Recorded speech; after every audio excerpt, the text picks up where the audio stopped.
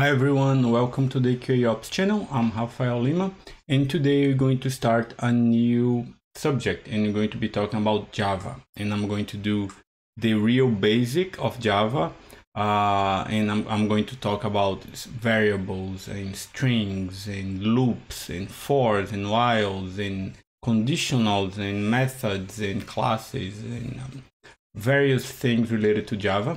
Then we're going to move to unit testing in Java, and then we're going to talk about API test, uh, uh, creating an API in Java. Uh, we're going to be using TDD along the way uh, as well uh, when we whenever we're doing that API, and this is going to be really exciting. So if you haven't subscribed, please do so. Hit the bell to receive notifications of my next videos and I'm going to post the links of previous uh, or other playlists that might interest you. And let's start. I have here my terminal and I don't have any any files here.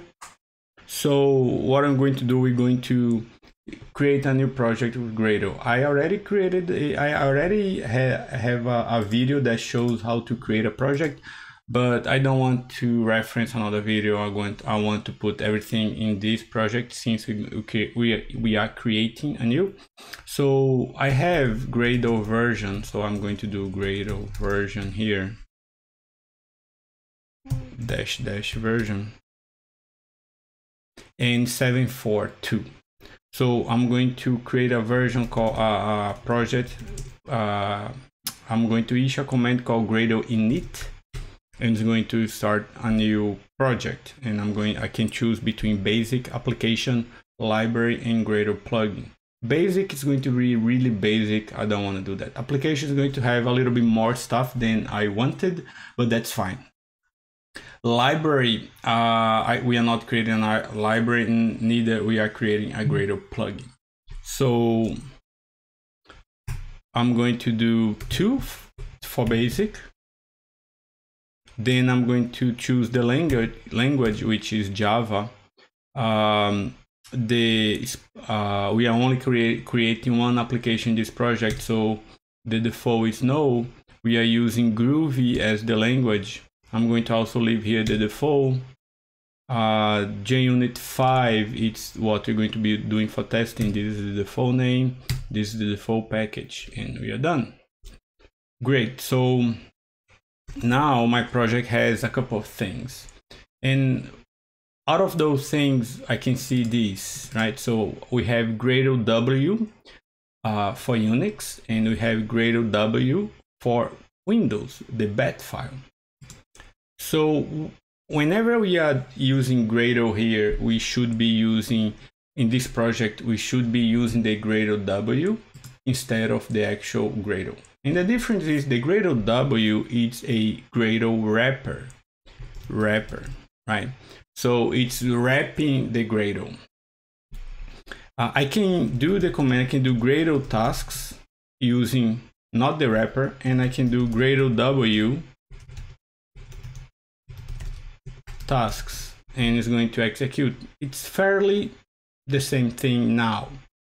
So what is the difference of using the Gradle and the Gradle wrapper? So when I execute Gradle, I'm executing the the I'm executing the library that is installed in my computer here, right? When I'm executing the Gradle W, I'm executing this script. And the difference is the Gradle that I have is on version 742 as I already showed you. Dash dash. Gradle 42 that I already showed you right? Cool. And that means that whenever I execute a, a command is going to be using this version. However if I install a new version let's say if I update my Gradle to 7.5 or 8 I'm going to be on a new version and the new version is going to have new functionality and old functionality might stop working, might be different, might not be supported anymore. So when I execute just Gradle, I'm executing whatever I have installed in my computer. when I execute Gradle W, I'm executing the Gradle with the same version that was uh, used during the project's creation. Right, so let me show you here. Uh, I have IntelliJ here, right? So we have a couple of things that I can show you. So the Gradle W, it's in the bat file, it's a huge script, right? The we can take a look at the Gradle uh, folder and has a wrapper here for the W. And you can see that there is a binary for the jar file and you have a properties. The properties, you can see that there are some uh, uh, user variables uh, and you have the, uh, sorry, the environmental variables and you have the version of the Gradle 742, right? So this means that whenever I execute Gradle W in any computer, if I don't have this Gradle version installed, the Gradle W is going to make sure it's going to be using that version and it's going to download that version for me or for anybody. All right, so that's why we use Gradle W.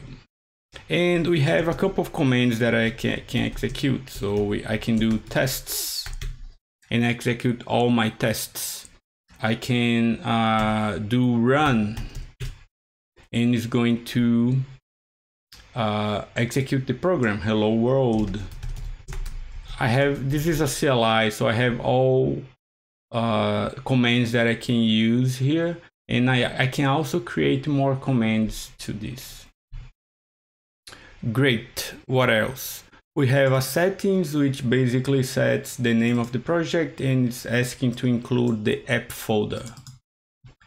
Amazing so what else we have here? We have the build.gradle.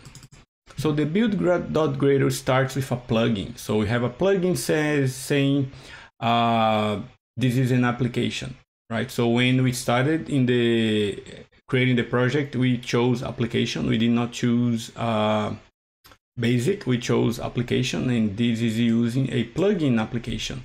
And this is nice because this is giving us this this run command here for us to execute the application. Now I have where my dependencies are and we are using Maven Central. And this is where it's going to be, Gradle is going to be downloading all the dependencies in our project, all the libraries that we are using. And talking about dependencies now, we have dependencies here, right? And we have a test dependency, test implementation, which is JUnit. And then we have the implementation for the system, which is using Guava, uh, Google Guava. You can see all of those on the left here on your external libraries. And you're going to see the Guava and you're going to see a bunch of for the JUnit. Next, you have the application where you are defining the main class java 101.app. If we go to source, we're going to have main java the package Java 101 and the class app. And next, you're going to define that whenever you're executing the task test, you're going to be using the JUnit platform, and this is necessary to execute JUnit 5. So the difference between test implementation and implementation is that this is the test implementation is going to be used only for the tests and the implementation is going to be used for the system. And that means that uh, whenever you deploy the system, it's going to use only the implementation dependencies for the system.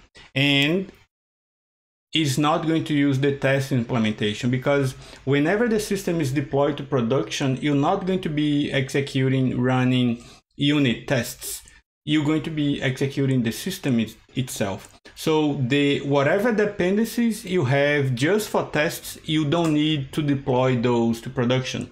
So that means that you're going to have a smaller artifact. You're going to have a smaller binary file to be installed and, and, and that is good because you don't you don't want extra things in production that you're not going to use. You want to be as small as possible.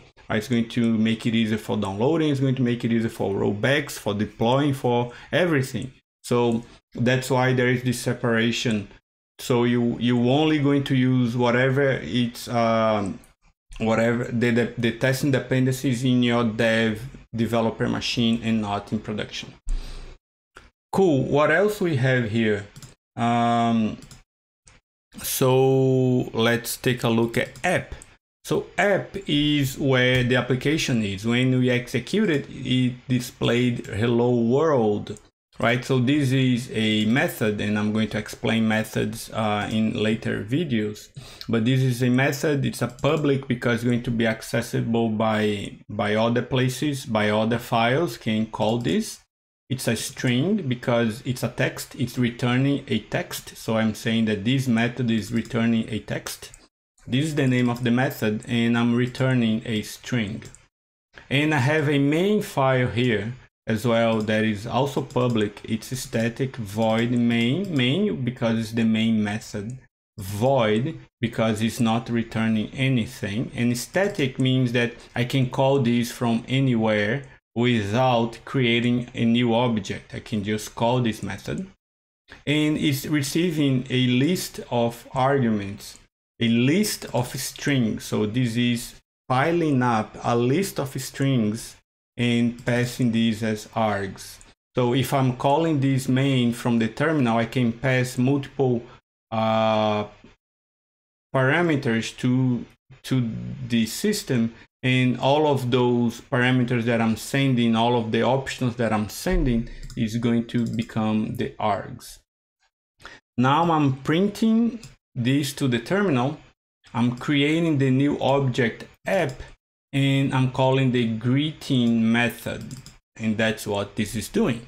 I can execute this by clicking here and execute run. It's going to execute here hello world or I can do control shift R and it's going to execute this as well control shift R and it's going to execute this as well uh, it's the same in Windows as well control shift R I also have my tests uh, that it, it, also created it's the same structure and you have a test that uh, you have the first lines is creating the new app the class app the name of the object is class under test. And this is a very simple test. This uh, is making sure whenever you call this, this is not null. And if it's null, it's going to uh, print this message. Right, so assert not null. So it's checking this is not null, and null means uh, there is there isn't anything there, right? So it's sort of like empty. It's it's uh, hollow, let's say. So I can execute also this test by clicking here and executing here, and it's going to execute the tests. So this is basically it. I have covered uh, the whole initial structure of the project and uh, we are ready to start. So in next video, we are going to start going over details related to Java. So thank you for watching. If you like it, give the thumbs up. If you haven't, it's really important that you do because that's how the channel can keep growing. If you haven't subscribed, please do so. Hit the bell to receive notifications of my next videos and um, I'm going to see you on my next video.